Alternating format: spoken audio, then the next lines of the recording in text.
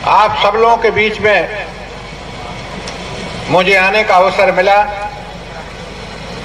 मैं आप सबका आभारी हूँ कि बिजली की समस्या, पानी की समस्या है और अगर मुझे अवसर दिया जाएगा तो तीन दिन में बिजली सुधार देंगे। क्योंकि सब कुछ चिल्लाना,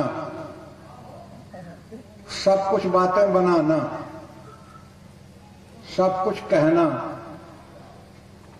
दूसरे पर बौछार करना, अपने को ईमानदार कहना, ये सब चुनाव के लिए होता है।